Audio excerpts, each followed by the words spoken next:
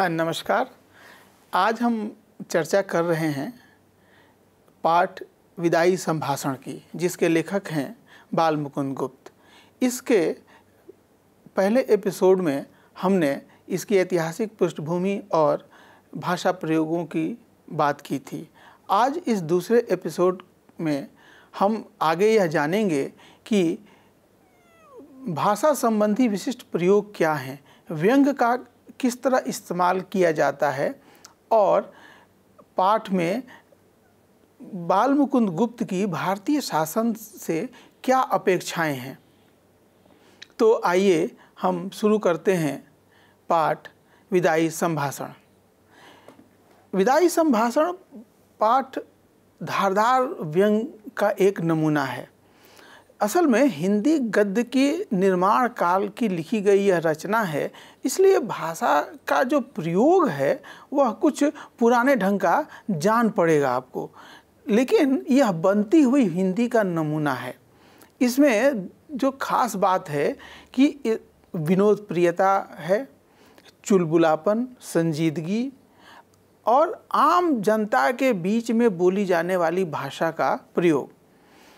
ये बहुत महत्वपूर्ण बात है कि जब हमें अपनी बात को जनता तक पहुंचानी हो, उसके भीतर आज़ादी की चेतना भरनी हो तो उन्हीं के बीच के प्रचलित शब्दों, उनके बीच में प्रचलित मुहावरों, लोकोक्तियों और कहने के तरीकों का इस्तेमाल ज़्यादा प्रभावी और संप्रेषणीय होता है। और शिव शंभू की ओर से लिखा गया यह पत्र, चिट्ठा एक साहसिक गद्य का नमूना है, जहाँ पर लेखक सीधे सीधे साम्राज्यवाद की जो बुराइयाँ हैं, जो उसकी कमियाँ हैं और उसकी जो क्रूरता है, उसका चेहरा जनता के सामने प्रस्तुत करता है अपने लोगों की भाषा में। मुहावरेदार जो भाषा है, उसका एक नमूना इस पाठ में मिलता है, आप भी ध्यान से सुनिए। आपको स्वयं इस बात की बेचैनी उठानी पड़ी है और इस देश में जैसी अशांति आप फैला चले हैं, उसको मिटाने में आपके पद पर आने वालों को न जाने कब तक नींद और भूख हराम करना पड़ेगा। इस बार आपने अपना बिस्तरा गर्म राख पर रखा और भारतवासियों को गर्म तवे पर पानी की बूंदों की भांति नचाया है। आप स्वयं भी खुश ना हो सके और यहाँ की प्रजा को भी सुखी न होने दिया। इसका लोगों के चित्त पर बड़ा ही दुख है। अब बिस्तरा गरम तवे पर रखना और गरम तवे पर पानी की बूंदों की भांति नचाना, इस प्रकार के जो प्रयोग हैं, वो इस भाषा को एक अलग ही रवानगी और विशिष्टता प्रदान करते हैं। वो सीधे सीधे लोक में में प्रचलित जो व्यंग कहने की जो शैली है, उसके साथ जुड़ती है। अच्छा जो गुप्त जी हैं, वो व्यंग लेखन में अपने समय के शायद सबसे अच्छे लेखक हैं। व्यंग के संदर्भ में बाल मुकुंद गुप्त की परंपरा कबीर से जुड़ती है। जिस प्रकार कबीर अपनी रचनाओं में व्यंग का धारदार उपयोग करते हैं, उसी प्रकार बाल मुकुंद गुप्त अपने व्यंग लेखन से इतने मारक प्रहार करते हैं कि कठोर से कठोर शासक भी घायल हुए बिना रह नहीं सकते हैं। व्यंग क्या है? इसके चर्चा करते हुए आचार्य हजारी प्रसाद द्विवेदी ने अपनी पुस्तक कबीर में उसकी परिभाषा बताई है। व्यंग वह है जहाँ कहने वाला अधरोष्टों में हंस रहा हो और सुनने वाला तिलमिला उठा हो। और फिर भी कहने वाले को जवाब देना, अपने को और भी उपहासास्पद बना लेने, लेना हो जाता हो। गुप्त जी के लेखन में व्यंग की धार को हम देख सकते हैं, लिखते हैं, विचारिए तो क्या शान आपकी इस देश में थी और अब क्या हो गई? कितने ऊँचे होकर आप कितने नीचे गिरे? अलिफ लैला के अलादीन ने चिराग रगड़कर और अबुल हसन ने बगदाद के खलीफा की गद्दी पर आँख खोलकर वह शान न देखी जो दिल्ली दरबार में आपने देखी। आपकी और आपकी लेडी की कुर्सी सोने की थी और आपके प्रभु महाराज के छोटे भाई और उनकी पत्नी की चांदी की। आप दाहिने थे, वह बाएँ, आप प्रथम थे, वह दूसरे। इस देश के सब रईसों ने आपको सलाम पहले किया और बादशाह के भाई को पीछे। तो वो एक तरह से ये बता रहे हैं कि आपने अपनी शानो शौकत में कोई कमी न छोड़ी। जब पाठ के शुरू में हम ये चर्चा कर रहे थे कि शो और ड्यूटी के फ़र्क को वो मुद्दा बनाते हैं तो ये शो था। कि दिल्ली दरबार में करजन ने अपने आप का महिमा मंडन किया और जो राजा के जो भाई थे, उन्हें भी अपने से नीचा ही स्थान दिया, उसे बगल में बिठाया था। तो यही सब कारण थे कि करजन का पराभव हुआ। कैसे हुआ? लिखते हैं गुप्त जी कि कितने ही राजों को मट्टी के खिलौनों की भांति आपने तोड़ फोड़ डाला। कितने ही मट्टी काट के खिलौने आपकी कृपा के जादू से बड़े बड़े पदाधिकारी बन गए। आपके इस इशारे में इस देश की शिक्षा पायमाल हो गई। स्वाधीनता उड़ गई। बंग देश के सिर पर आरह रखा गया। आह, इतने बड़े माइलाड का यह दर्जा हुआ कि फौजी अफसर उनके इच्छित पद पर नियत न हो सका और उनको उसी गुस्से के मारे इस्तीफा दाखिल करना पड़ा। वह भी मंजूर हो गया। उनका रखाया, एक आदमी नौकर न रखा, उल्टा उन्हीं को निकल जाने का हुक्म मिला। तो माई लॉर्ड का पतन हो गया। वायसराय जैसे सर्वोच्च पद पर जो व्यक्ति कार्य कर रहा था, जिसने अपनी शान शौकत के लिए दिल्ली दरबार सजाया, जिसने अपनी शान में में बढ़ोतरी के लिए विक्टोरिया मेमोरियल बनवाया, उस व्यक्ति को एक सदस्य की नियुक्ति के लिए नीचा देखना पड़ा और उसे साम्राज्य के हाथों जिल्लत होकर के भारत से जाना पड़ा।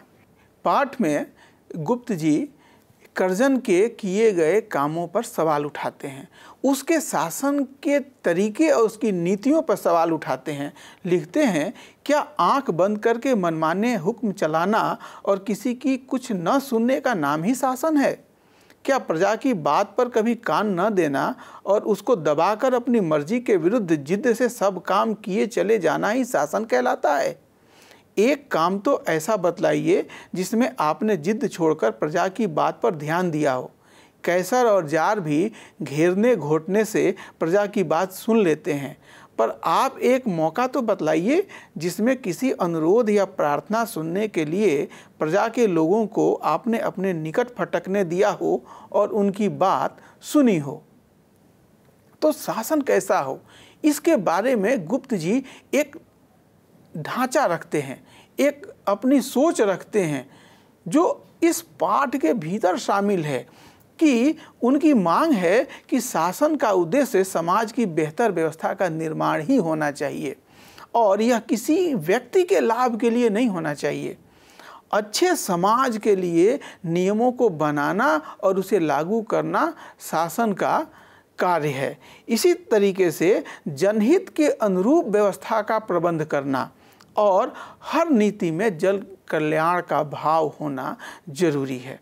जनता का दुख दर्द समझने के लिए भी सही तरीके का होना, एक व्यवस्था का होना ज़रूरी मानते हैं और इन्हीं बातों पर वो कर्जन की आलोचना करते हैं।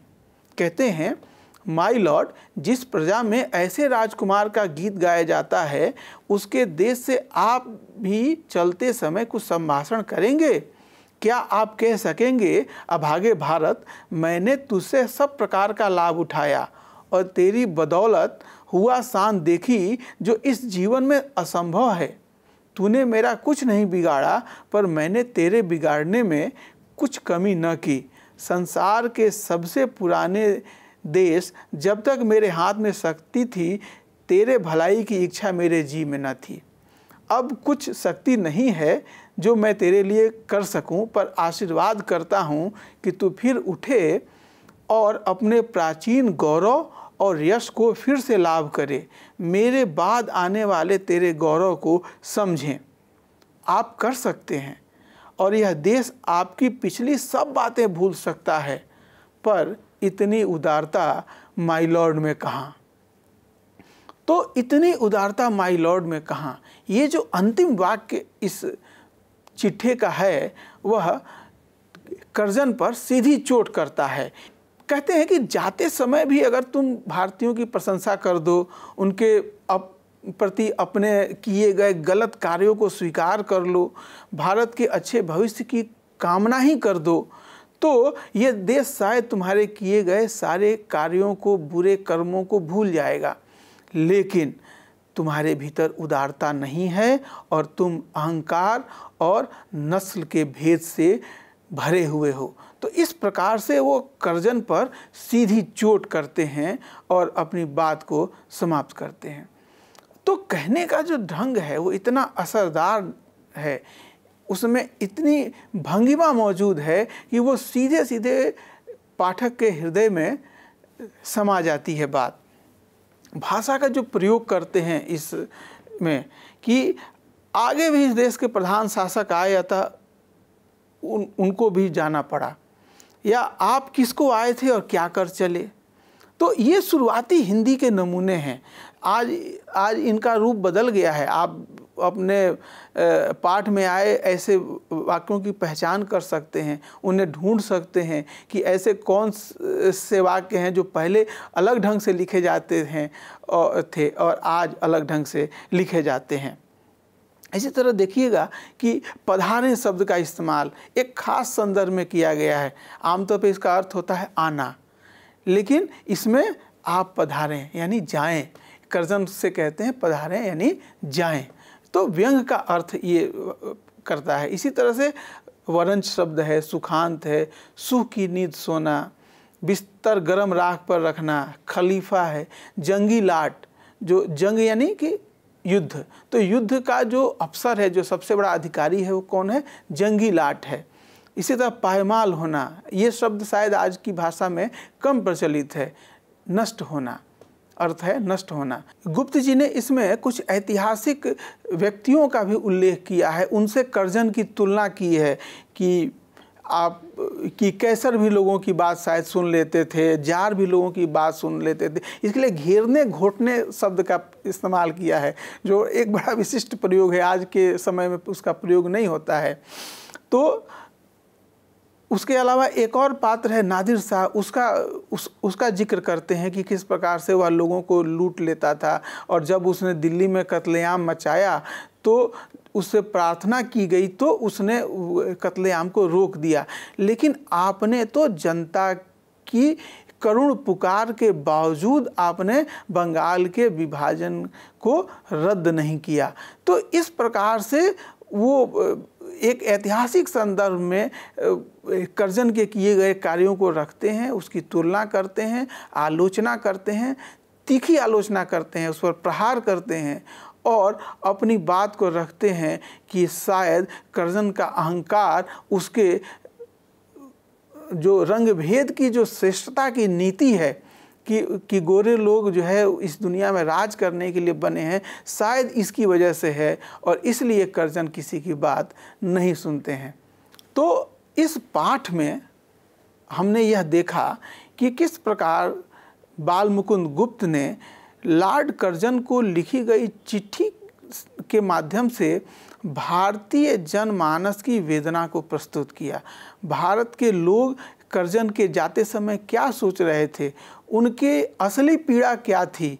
कर्जन की पीड़ा को भी उससे वो जोड़ते हैं और बताते हैं कि जब कोई किसी की बात नहीं सुनता है तो उसके दिल पर क्या गुजरती है? कम से कम जाते समय तो कर्जन यह बात ज़रूर समझ रहे होंगे। तो इस पाठ के बारे में जो बात हमने सबसे पहले कही थी, उसी से अंत करना मैं चाहूँगा कि जो लिखना था वह लिखा गया। अब खुलासा बात यह है कि एक बार शो और ड्यूटी का मुकाबला करिए और कर्जन अपनी ड्यूटी में फेल हो गए। यह बात इस पाठ से हमें समझ में आती है। धन्यवाद।